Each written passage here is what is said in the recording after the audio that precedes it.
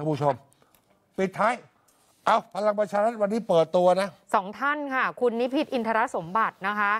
แล้วก็คุณอันวาสาและ คุณนิพิษเนี่ยเดิมก็คืออยู่ประชาธิปัตย์เสร็จแล้วก็ไปเป็นรองหัวหน้าพักสร้างอนาคตไทย ล่าสุดก็ทีมสมคิดอะ ใช่ทีมดอกดรสมคิดนะคะล่าสุดก็คือคุณนิพิษย้ายมาอยู่พลังประชารัฐ ส่วนคุณอันวาสาและเป็นอดีตสสปัตตานีของประชาธิปัตย์ก็ย้ายมาอยู่พลังประชารัฐ ไม่มีอะไรตลบมากกว่านี้แล้ว ผมหมายถึงฝุ่นนะ ช่วงหน้ากลับมาว่ากันต่อเรื่องเราเช้านี้